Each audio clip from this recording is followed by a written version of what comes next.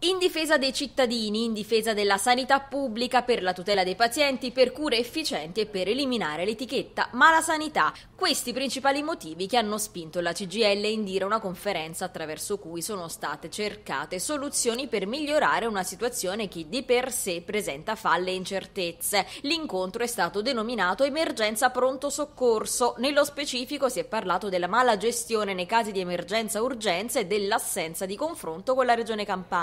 Bisogna garantire il diritto alla vita, a dirlo il segretario generale della funzione pubblica della CGL Napoli e Campania, Alfredo Garzi. Noi siamo in una condizione nella quale oggi non si riescono più a garantire i turni di servizio perché il personale è sempre di meno, si va via appena è possibile da questi servizi perché le condizioni di lavoro non sono adeguate, c'è un problema di rapporto con i reparti rispetto al ricovero dei pazienti che ci sono dentro i pronti soccorsi, insomma poter organizzare diversamente il lavoro dell'ospedale già potrebbe dare qualche risultato, ma ovviamente poi bisogna investire nel personale, bisogna smetterla con questo numero chiuso e con un numero di specializzazioni così basse che non consente di poi le professionalità adeguate per poter affrontare il lavoro dentro il pronto soccorso, bisogna migliorare anche le condizioni di lavoro degli operatori, bisogna rilanciare, anzi in queste regioni bisogna finalmente avere dei servizi territoriali che consentono alle persone di non dover accedere